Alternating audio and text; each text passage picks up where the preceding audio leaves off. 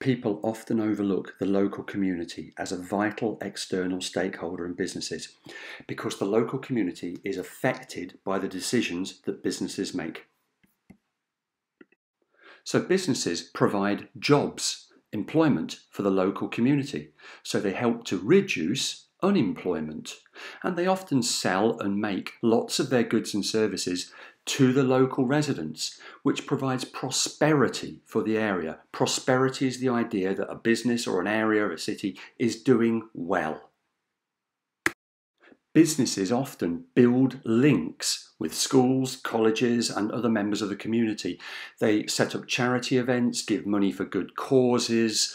Um, this can improve their reputation and show that they are a socially responsible organisation.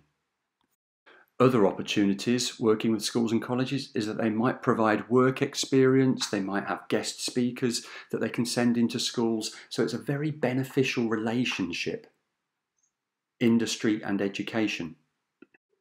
The environment is a massive issue. Business activity can business activity can have a negative impact on the local environment, increased traffic congestion, pollution, noise. So businesses need to show that they care about the local environment and behave in an ethical way. That means doing the right thing.